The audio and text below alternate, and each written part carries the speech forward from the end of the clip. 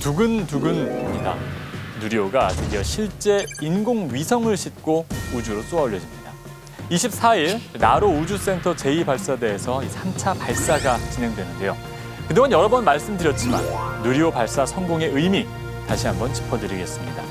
대한민국 최초의 저궤도 실용위성 발사용 로켓으로 누리호 발사 성공으로 세계 11번째 우주 로켓 발사국이 됐고요.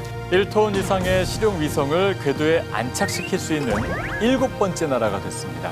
누리호 발사 성공 이후 한국은 민간 우주 개발에 박차를 가하고 있습니다. 민간 우주 산업 시장이 열렸다고 할 수 있겠죠. 미국의 스페이스 X, 블루 오리진, 영국의 버진 갤럭틱 같은 기업들은 이미 상용화를 시작하기도 했습니다. 한국에서도 시장이 열리자마자 많은 기업들이 도전하고 있는데요. 흥미로운 건 우주 발사체 기업하면 대기업만 떠올리실 텐데 그렇지 않습니다. 이노스페이스, 우나스텔라 등 국내 스타트업들도 소형 발사체뿐만 아니라 유인 발사체 등에 대한 연구 개발을 진행하고 있습니다. 특히 이노스페이스의 한빛 TLV는 브라질에서 첫 민간 로켓 발사에 성공했습니다. 대기업도 질 수 없죠.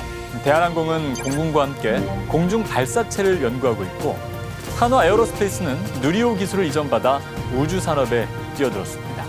모건 스탠리에 따르면 2030년 글로벌 우주 산업 시장 규모는 735조, 2040년에는 1,443조에 이를 것으로 전망됩니다.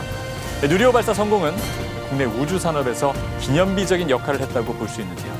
무엇보다 발사를 위해 밤낮 없이 몰두하는 국내 연구진들의 노고에 무한한 감사를 보냅니다. 특히 가정의 달인데도 불구하고 연구진들이 모든 휴가를 반납했다라는 얘기가 들리는데요.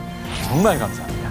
자, 이번 누리호 3차 발사도 무탈하게 잘 진행되기를 기원합니다.